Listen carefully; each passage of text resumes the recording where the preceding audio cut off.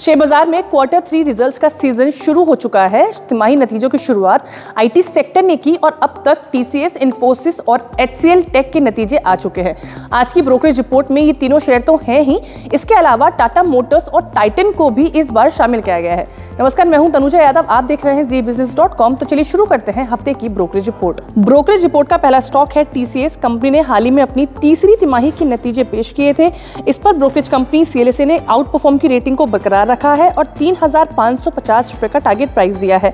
इसके अलावा मैक्वारी ने इस शेयर पर आउट परफॉर्म की रेटिंग को मेंटेन किया है और पैंतालीस सौ का टारगेट प्राइस दिया है। वहीं क्रेडिट स्विस ने इस पर न्यूट्रल की रेटिंग को बरकरार रखा है और तैतीस रुपए का टारगेट प्राइस दिया है। दूसरा स्टॉक जहाँ पैसा लगा सकते हैं वो है इन्फोसिस आईटी सेक्टर की इस दमदार कंपनी पर ब्रोकरेज कंपनी सीएलएसए ने खरीदारी की राय दी है और अठारह सौ का टारगेट प्राइस दिया है। सीटी ने भी खरीदारी की राय दी है और सोलह रुपए का टारगेट प्राइस दिया है। जेफरीज ने खरीदारी की राय दी है और सत्रह सौ सत्तर रूपए का टारगेट प्राइस दिया है। इसके अलावा नोमुरा ने भी खरीदारी की राय दी है और उन्नीस सौ रूपए का टारगेट प्राइस दिया है। वहीं बात करें मैक्वारी की तो मैक्वारी ने इस पर आउट परफॉर्म की रेटिंग को बरकरार रखा है और दो हज़ार अस्सी रूपए का टारगेट प्राइस दिया है। तीसरा स्टॉक जिसे पोर्टफोलियो में शामिल कर सकते हैं वो है एच सी एल टेक्नोलॉजी इस पर ब्रोकरेज कंपनी सीएलएसए ने आउट परफॉर्म की रेटिंग को बरकरार रखा है और बारह सौ रूपए का टारगेट प्राइस दिया है। मॉर्गन स्टेनली ने ओवरवेट की रेटिंग को बरकरार रखा है और ग्यारह सौ अस्सी रूपए का टारगेट प्राइस दिया है। एचएसबीसी ने खरीदारी की राय दी है। बारह सौ तीस रुपए का टारगेट प्राइस दिया है।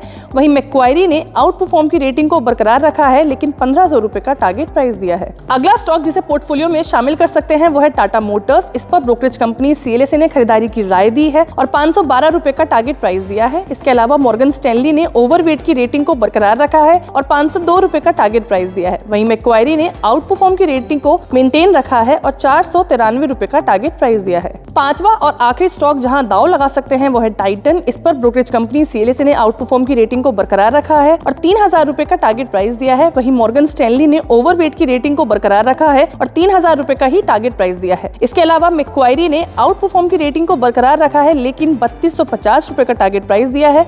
वहीं बात करें एच एस बी सी की तो इस ब्रोकरेज कंपनी ने यहाँ पर खरीदारी की राय दी है और तैंतीस सौ पचास रुपए का टारगेट प्राइस दिया है। तो ये थे हफ़्ते के दमदार स्टॉक्स जिन्हें ब्रोकरेज ने अपनी रडार पर रखा। अगर आपको ये वीडियो पसंद आई है तो इसे लाइक और शेयर ज़रूर करें। अगले हफ़्ते फिर मिलेंगे नई ब्रोकरेज रिपोर्ट नए स्टॉक्स के साथ तब तक के लिए एंजॉय योर वीकेंड